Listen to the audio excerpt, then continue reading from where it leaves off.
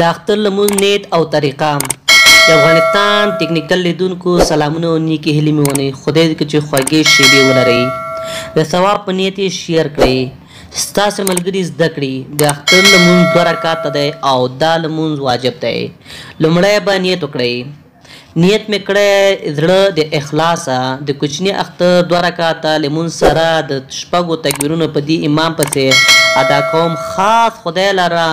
مخ مې د کعبې شریفې په لورې الله اکبر دوهم ګران دوستانو ثنا به شروع کړئ سبحانک اللهم به شروع کړئ تر اخره به ثنا ولولئ. دریم، درې تکبیرونه به ووایي، امام به په اوچت آواز او مقتدیان به ورو سره تکبیرونه ووایي، په هر تکبیر کې به لاسونه غوږونو ته پورته کوي او ایله به کوي او هرو دوو تکبیرونو تر مابین به دومره سکوت کوي چې درې تسبیحات په کې وویل شي.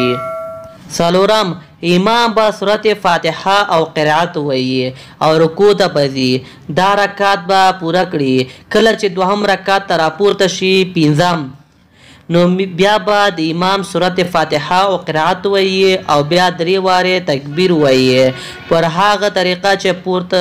مخکې هم وویلې چې تاسو په اول تکبیر کې څه شوي دي همغه طریقه باندې به دا کار به هم کوي په څلورم تکبیر سره به د رکوع ته ولاړ شئ او لمونځ به د نورو لمونځونو په څیر ختم کړئ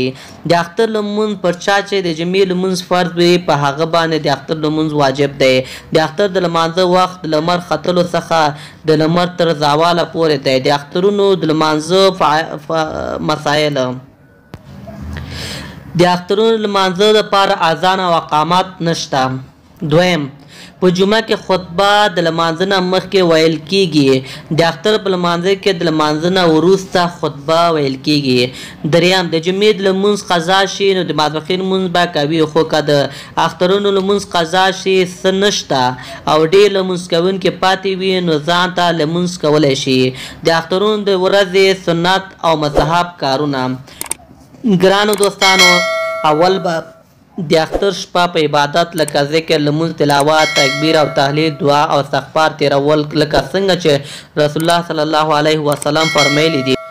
څوک چې د کوچني او لوی اختر شپه د ثواب په نیت په عبادت سبا کړي،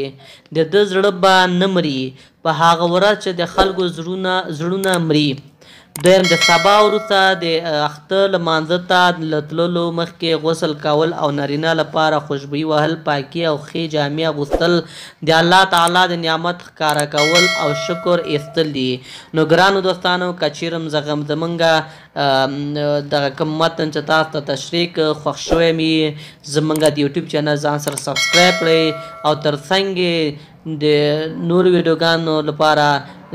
د زنګ نشان هم ټیک مارک کړئ چې نور ویډیوګان څخه هم خبر شئ ګران دوستانو که چیرې ویډیو خوښه شوې ویډیو لایک کړئ شیر یې کړئ که کوم سوال لرئ موږ سره په کمنټ کې شریک کړئ د الله په امان د بلې ویډیو په هیله